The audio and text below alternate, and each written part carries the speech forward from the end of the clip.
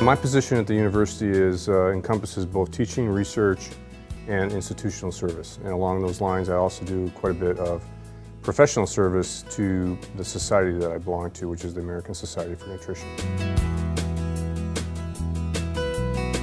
So my research agenda is focused on a metabolic process called one-carbon metabolism.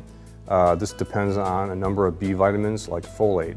And when this process is perturbed, it's associated with a number of diseases such as birth defects and cancer. So really my lab is looking at what environmental factors can perturb that process and how can we try to intervene to prevent that from happening.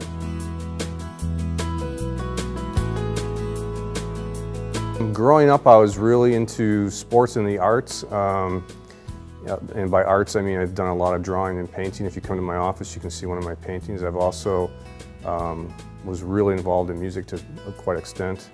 I play four musical instruments and we did a lot of that. I had aspirations of being a rock star that quickly died away, so.